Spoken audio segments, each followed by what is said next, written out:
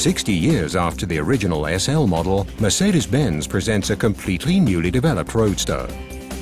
For the first time, the new SL is almost entirely constructed out of aluminum. This delivers a weight reduction of up to 140 kilos.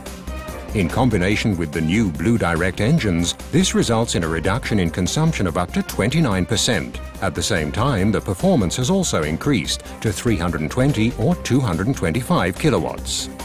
Overall, the new model is considerably more agile, thanks to the new suspension system which offers both sport and comfort configurations. Furthermore, the new Frontbass system is another world premiere.